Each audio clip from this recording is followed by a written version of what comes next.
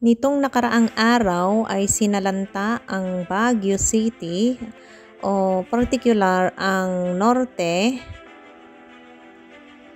uh, Hilagang Norte ng Bagyong Maring. So, pinapakita ko po dito yung mga uh, nakalap kong mga kuhang litrato na uh, uh, kudos po sa mga nag-post uh, sa kanilang mga FB kung saan ko nakuha itong mga uh, pictures.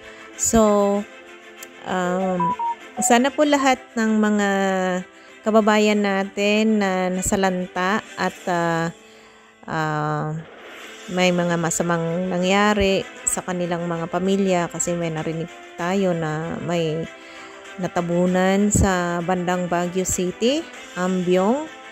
Um, tatlo silang magkakapatid ano na talagang uh, natabunan sila. So all of them are uh, dead.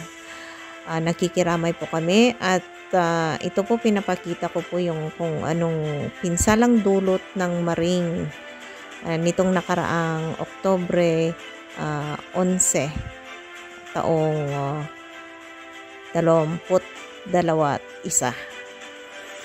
Uh, ngayon sa kasalukuyan, dito sa Hong Kong naman uh, pumunta yung bagyo na uh, pinangalan ng Kumpaso. So we are feeling the wrath of it. Pero dito ay hangin at manakanakang bugsong uh, maulan. So guys, uh, keep safe everyone and uh, sana magiging okay rin lahat pagkatapos ng uh, bagyo na to na ating mga nararanasan. Salamat!